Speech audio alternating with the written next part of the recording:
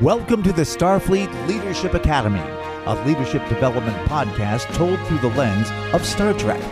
And now here's your host, Jeff Akin. Welcome, everyone, and thanks for joining me today. Slight spoiler alert here. I love this episode. It is so much of what makes Deep Space Nine amazing. And a big part of that is how Sisko supports his team, even through the worst. See what I mean? As we watch the 18th episode of the sixth season of Deep Space Nine, Inquisition. Bashir's off to a medical conference. Where is it? Risa? Casperia Prime? Casperia. How'd you guess? Interesting how conferences always seem to happen at cool places like that. I mean, there's never there's never a big conference in I don't know, like Casper, Wyoming. Welcome to Casper, Wyoming. This central Wyoming town is a mecca for outdoor enthusiasts and history buffs alike. No offense to anyone in Wyoming, of course. But O'Brien, O'Brien comes in with a dislocated shoulder from kayaking.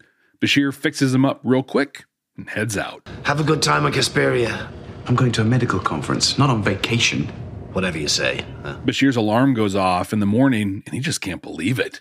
We've all been there, right? Like it's time to start the day and it feels like you just laid down maybe five minutes ago. Well, that's Bashir today. He grabs his gear, heads off to the shuttle, mm, but Sisko calls all the senior officers to ops. Oh, this isn't good. Internal Affairs is here. It's uh, Deputy Director Sloan. You might a or a little street sweeper, but sooner or later you dance with the Reaper. They believe there's a Dominion spy on board the station and are confining all the senior officers to quarters so they can conduct an investigation. But don't worry, we've already informed Starfleet Medical that you won't be attending your conference. Oh, that's very considerate of you. Sloan gives instructions that they are not to talk with each other during the investigation and that he hopes to wrap this up as quickly as possible. In his quarters, Bashir's trying to get some hot buttered scones from the replicator, but but it's not responding. Oh man, sounds really good right now. He's going with red leaf tea with the scones. I'd be more about some delicious aromatic black coffee. But but I can get on board with Bashir's breakfast, that's for sure. He's called to the wardroom for his interview with Sloan. A very, very uptight security guard escorts him. But the interview seems to go well. Actually, when I first came in here, I uh, half suspected that uh, I would be interrogated under a very bright light. and is over pretty quickly. They talk about when he was abducted by the Dominion back in season five. That was about a year ago. And then the time that he helped a group of socially outcast people that were also genetically engineered just like he is. That happened, that actually happened just a few episodes before this one, I think. On his way back to his quarters, Sloan Sooner or later you dance with the Reaper. says they've disabled the replicators and takes his breakfast order old school style. Comes via room service, and, as one might expect if they've traveled enough, they messed up the order. He ended up getting Worf's breakfast, which was a deliciously disgusting wriggly plate of live gagh. So now he's tired and super hungry. He notices that his stuff's been moved around, his quarters have been searched. And despite the attempts to isolate everyone, O'Brien reaches out to Bashir on a communication panel. He says he was interrogated for hours. About you. Every question was about Bashir. He cuts the communication quickly so they don't get caught, but seconds after that, Sloan asks him to come back to the wardroom. I was going over my notes from our last conversation, and there are a couple things I'd like you to clarify. Oh. He starts really diving into the five weeks he spent in a Dominion internment camp. His theory is that Bashir was, well, basically brainwashed. Engrammatic dissociation. So, because of Bashir's genetic engineering, he thinks that the Dominion were able to compartmentalize his brain. So he acts as a spy, but he's not even aware of it. There's no chance of you getting caught because you don't even realize you're working for them. When they want to debrief you, all they do is trigger your memory. They're able to crack the code and get him to share info, but Bashir would have no idea that was even happening. This is this is terrifying and worse, it's indefensible. If if the brainwashing works, like if this is true, Bashir would have no idea what he's doing and and no control over it. So he can't even admit to anything, but but he also can't prove he's not doing anything. Any any defense that was put up can be swatted away just by saying that it's the engrammatic dissociation. It's uh it's quite the trap Sloan has laid here. Then Sloan ramps it up. You want to do things the hard way? Fine. And officially charges him and sends him to the brig. They cuff him and walk him through the promenade on their way. Is it really necessary to drag a Starfleet officer across the promenade in irons? This is one of many moments we're going to see Sisko step up for Bashir. As they lock him up, the security guards insult, they demean him, they, they really make this personal. But I love it. Bashir stands up for himself. He doesn't take it at all. So nice to see you enjoying your work. They stop just short of shoving him in as they take his communicator badge and tell him to get in his cell.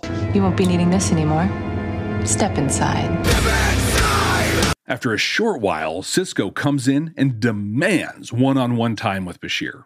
Sloan tries to stop him, but Sisko pulls rank. Have you received orders from Starfleet to relieve me of my command of this station? No, I haven't. Well, then. He says that he demands being present at all questionings moving forward to be sure that Bashir's rights are respected. So, cut to an interrogation that has clearly been going on for quite a while. Both Bashir and Sisko are just looking wiped and exhausted. This is irrelevant. He tries helping, but but Sloan just keeps on it. Nothing is deterring him. He goes through a litany of lies that Bashir's told through his life, all to hide his genetic engineering.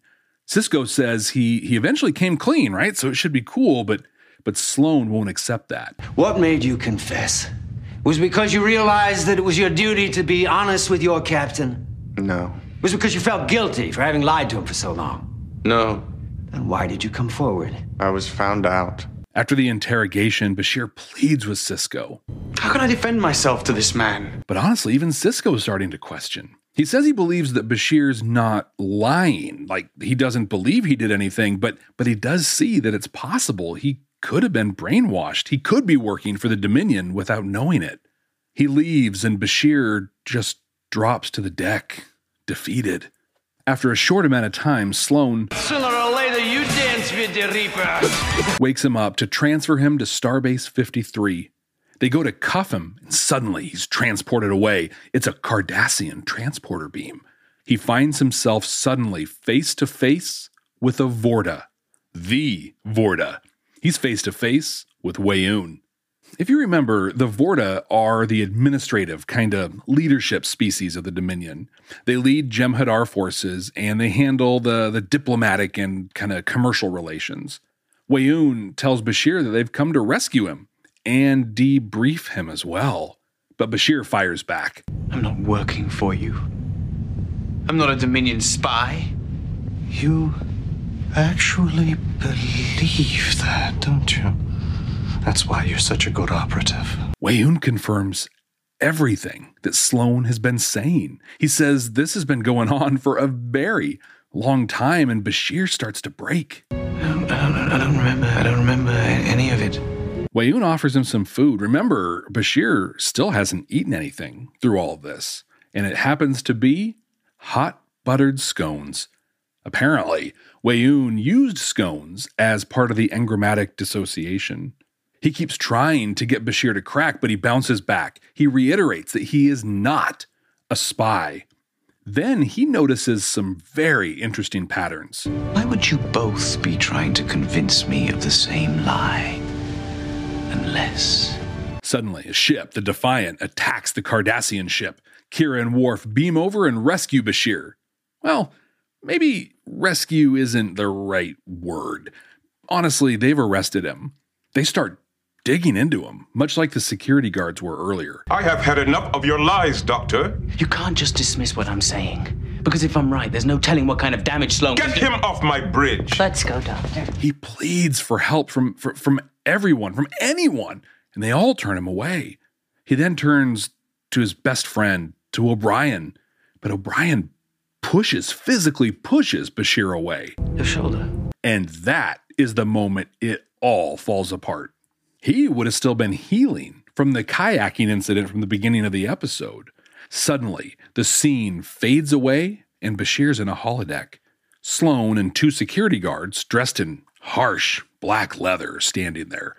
Sloan says this has all been an enhanced interrogation technique that has proven that Bashir is indeed not a spy for the Dominion. They intentionally kept him hungry and tired and put him through all these paces to see if he was or, or wasn't a spy. They beamed him out of his quarters when he was asleep just before he was going to leave for his trip and put him into this holodeck simulation. I believe we allowed you a full hour. So that's why he was so tired. I wonder I wonder if that's what happens to me. Like I'm just kind of beamed from holodeck to holodeck after, I don't know, maybe an hour of sleep. They concocted this whole scenario to keep him under stress and to test if he'd been brainwashed. O'Brien's injury happened after they prepped everything, so they weren't aware that it happened. And then, then Bashir flips the script and asks who Sloan is and who he works for. Let's just say I belong to another branch of Starfleet intelligence. Our official designation is Section 31. They do the dirty work that keeps things running smoothly in the Federation. Totally covert, completely secret. They're an autonomous department. Bashir has a real problem with this. He says it flies in the face of everything the Federation stands for. But then Sloan tries to get Bashir to join Section 31. A few minutes ago, you were calling me a traitor.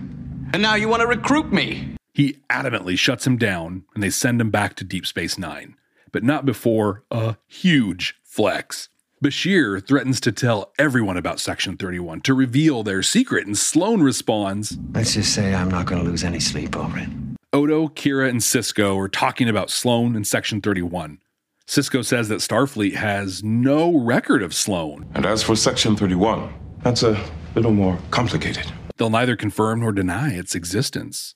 Sisko wants to learn more about them, he wants to get at them. But Odo completely understands why the Federation would have a Section 31. Personally, I find it hard to believe they wouldn't. Every other great power has a unit like Section 31. The Romulans have the Tal Shiar, the Cardassians had the Obsidian Order. But neither Bashir nor Sisko are okay with that. Sisko tells Bashir that the next time Sloan comes around, that he wants Bashir to agree to work with them. He wants him to infiltrate the organization. And the next time he asks you to join his little group, you will say yes. What a cool concept for an episode. I mean, it's not unique in Star Trek, the whole parallel experience thing, but this one was done just, I think, just so masterfully. The real life portion of this episode ended when Bashir left the medbay to go to sleep and then picked up again in the holodeck. Everything else that we watched was an illusion. Honestly, maybe this isn't the worst way to work a confession out of a suspect. I mean, this would be pretty easy, right? All you got to do is create a holographic environment that they would believe is real, put them in a situation where they would do the do the bad thing or reveal who the bad person was. Now, hmm, if we can just figure out that whole holodeck thing. Come to Crush Fun. Come right now. Don't walk. Run! So much of this episode just flies in the face of Gene Roddenberry's vision. I mean, at least at first glance. Famously, or maybe infamously, infamous is, is when you're more than famous. Roddenberry insisted that there not be any conflict between members of the crew. He believed society would have evolved past petty conflict by the 24th century. He also painted the Federation as this utopia where everyone worked to support each other and they would cling to their principles no matter what. DS9 was always meant to be a little darker than, than TOS and TNG were, but Ira Steven Behr can be credited for taking it to where it went. He became co showrunner at the beginning of season three, and then when Michael Piller went on to start Voyager, Behr became the sole showrunner. Much of what we see from late season three on is from his mind. And in my opinion, he still bought in to Roddenberry's vision, but in a much more pragmatic way. Yeah, the Federation was a utopia, but not everyone wants to live in paradise. Like that was the approach and the thought that we heard in the episode DS9 for the cause. Nobody leaves paradise. Everyone should want to be in the Federation. Hell, you even want the Cardassians to join. It was one of my favorite Starfleet Leadership Academy podcast episodes. Roddenberry wanted all things Federation to sparkle and shine, but but Behr understood and portrayed that even shiny things have have an underside to them. This episode, though, goes where Roddenberry would never have gone before. A black ops unit that answers to no one? That's comparable to the worst of the worst in the Tal Shiar and the Obsidian Order? Now, we got a taste of the Tal Shiar when we talked about TNG's unification and face of the enemy. Like, how could Starfleet have an equivalent of that? Well, they do. And I think it says so much about anyone's vision of a utopia. As we go deeper into Star Trek Discovery, we'll talk more about Section 31. We'll hit on them as well in Enterprise, but the overarching question, at least from me, will be similar to Bashir's in this episode. Why? Why would the Federation stoop to such a level? And by stooping to this level, are they invalidating everything the Federation stands for? We've talked a few times on this podcast about the concept of the ends justifying the means. Recently, in the Starfleet Leadership Academy episode TNG Code of Honor, we examined this pretty closely. In that episode, Picard decided that the ends do not justify the means and went so far as to put Lieutenant Yar's life in danger, as well as the planet suffering from the pandemic.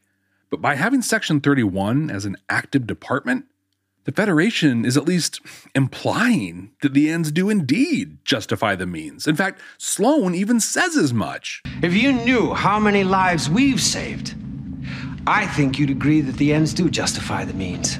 He goes on to make a compelling case based on the many, many lives Section 31 has saved. I love this, honestly, about Star Trek. Intentionally or not, it provides us with these ethical and philosophical quandaries that, that don't necessarily have a definitive answer. Okay, yeah, I'm gonna I'm gonna do it. I'm gonna do something here that that oh gosh, I'm gonna do something that I might regret. But but leadership is about stepping out of our comfort zones and helping others to do the same, right? So here goes. I want you to go to the Starfleet Leadership Academy Facebook group, and I want you to take a position on this. We can do it debate team style, right? So do the ends justify the means. Take the pro or the against, and let's debate this. High school debate team style, right? No name calling, no politics. In fact, to help keep it clean, or at least, I don't know, more clean, let's try to keep the topics and the examples focused on Star Trek. The way you do it. That's the way you debate. If the ends do justify the means, then Put simply, Section 31 is the most important part of the Federation. I'm excited to see what happens when Bashir agrees to work with them. I want to see what he finds out.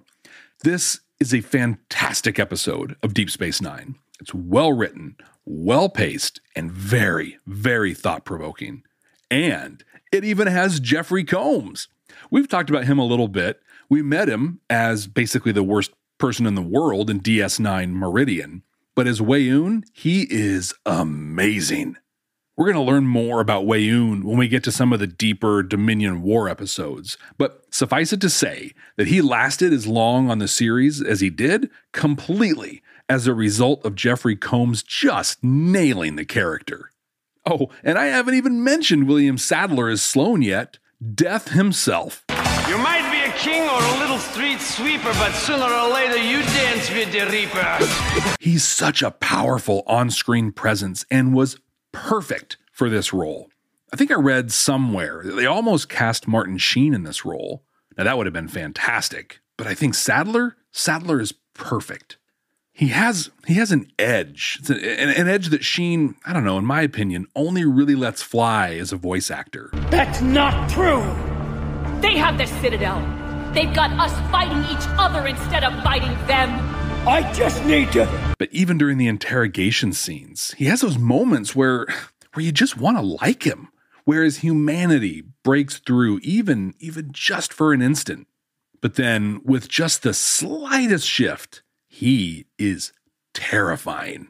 Section 31 to a T. And what is it that makes Deep Space Nine my favorite series? the characters and their relationships. Yes, Bashir is genetically engineered. Yes, he is absolutely brilliant, but it wasn't either of those things that saved him or exposed the ruse. No, it was his relationships with O'Brien and Sisko. He knew them he knew them so well and knew at least O'Brien's physical state that their behavior is what tipped him off. Even in an episode focused on just one person, that's yeah, that's two episodes in a row for us like that. But in an episode focused on just one person, we see the depth and value of the character development in this series. Command codes verified. Captain Benjamin Sisko is such a strong leader that even in a holographic representation, he stands up for his crew and gets right between them and danger. Bashir's observation that Sisko was acting weird wasn't as apparent as O'Brien's shoulder. No, because it was about his leadership style. As it was all coming together, Bashir said, And you're not Captain Sisko. He'd at least be willing to hear me out. Sisko demonstrates exactly what it looks like to be a leader when the people you work with are in trouble or in danger. The Starfleet Leadership Academy is supported by listeners just like you. Click the link in the show notes to support the ongoing production of this podcast. When Sloan first rolls in, Sisko is a begrudging participant. He doesn't like what's going on, but there, there really isn't anything he can do about it. But the second things get out of control, he is right on it. He's in that brig as soon as he knows Bashir's in there, and he's fighting for his teammate. Sloan seems to have an answer for everything Sisko throws at him, so he settles for an advocacy role. But he inhabits that role. He sits in on the interrogation, he pushes back, he asks questions and tries to set Bashir up as best as he can to be successful.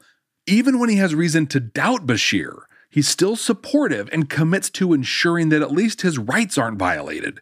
This is one of the primary jobs for any leader. Deep Space Nine, without any people on it, is just a hunk of metal in space. Your organization, your program, your shop, your restaurant, your place of business without people is just a building or a bunch of buildings, depending on how big your company is. My point is that without people, there is nothing. So you may look at someone like Sisko and say his job is to administer the day to day operations of a space station, or to act as a liaison between various governments, enforcing treaties where applicable and negotiating them as needed. And yeah, those are all things he does, but they aren't the core of his job. It's not your job, Princess. Stop calling me princess! His job is to support the people that make Deep Space Nine what it is. So, what's your job? Is it writing the schedule for the week? Streamlining and maximizing EBITDA? Is it counting out the tills at the end of the night? Well, I'd say those are certainly things that many of you do, but your job as a leader is to support the people that make your organization what it is. It is very, very unlikely that you're going to have a situation where one of your employees is being investigated for being a spy. Unlikely, but the probability is not zero. So you're telling me there's a chance? I mean, I know what some of you do for a living, but still, what are situations that your team may encounter where you'd need to Sisko up? I recently helped out on a company's campaign where they were trying to light a fire under one of their partners and start moving more of their product. They assigned reps by region and set up incentives for them to connect with the partners' people in the area. It got pretty competitive, and one of the reps started accusing one of the others of stealing their prospects. Things escalated quickly, and it didn't take long for the accused rep to reach out saying they felt threatened and unsafe. I was on the call with them and their manager, and the manager did such a great job.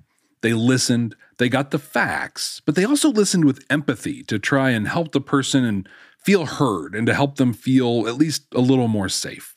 The next call was with the accuser, now, both of these people report to the same person, so that made this all a little bit easier. But once again, that manager did a great job. Much like we talked about in the episode on DS9 Things Past, they listened with curiosity and asked great questions. They didn't come in accusing the person of anything, but instead tried to understand what was happening from their perspective. It became apparent very quickly that this guy's numbers were terrible, and he figured attacking someone that was doing well would be better than stepping up his game. This is when the manager Siskoed up. They told the rep that their behavior was unacceptable and that if anything like this happened again, and I'll never forget when they said this, it was it was so ridiculous and so awesome at the same time. But they said that if they went after any reps again, especially this one, they'd never work in IT again. That was great. Stand up for your team, being being clear with expectations and consequences. But but never work in IT again? yeah, I think it would take something ah, so catastrophic that I, I can't even think of it to blacklist someone from that industry. There's enough toxicity it could have its own Avenger, but but but that's an entirely different topic. Another example that may be more common and maybe a little more complex, really, is when a customer is freaking out on someone you work with. Are you kidding me? I came here to buy food from you, guys. abuse my customers. Yep, kind of like that. Well, first, and, and I hope this is obvious, you don't leave your person hanging out there by themselves. You get in there. You insert yourself physically between them and point that fire hose right at you. But let's add a dimension to this one. Let's say the customer is right and your teammate did screw something up. You've probably been here before too, I'll bet. They did this and that, and I demand that they are fired right now. Now you get to Sisko up twice. First, by getting in there and protecting the person you work with, but again, by standing up for them, even if they were wrong. Now, that doesn't mean lying to the customer. That means you control the situation, not them.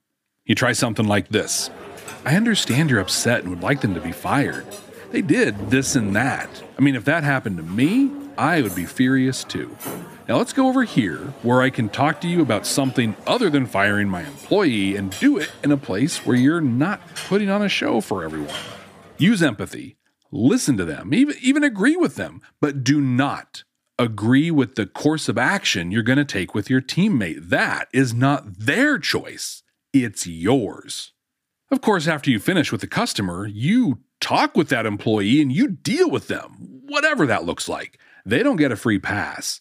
You hold them accountable and responsible, but you do so on your terms and your organization's. Sloan. Sooner or later, you dance with the Reaper. Sorry, I just love Sadler and Bill and Ted. But Sloan saw fit to lock Bashir up, so Sisko went in and did what he could do to get him out of his cell, or at least help as he could.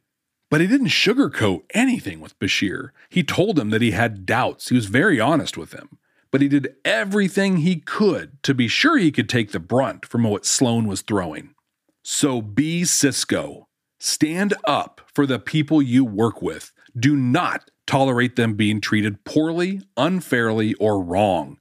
Even if they are in the wrong, you ensure they are treated with dignity. A leader's first job and responsibility is to the people they work with. Period.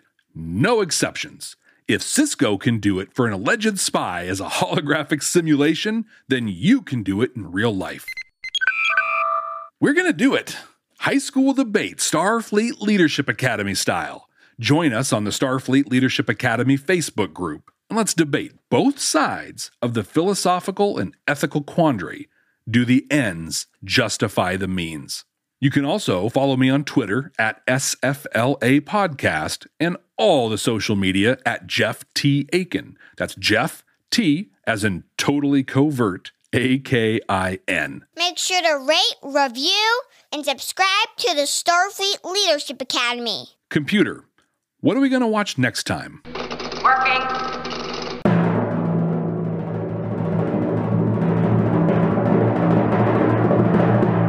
It's been a long time, like, I don't know, gosh, 10 episodes since we've gotten Enterprise. But here we are from the first season, episode 19 Acquisition.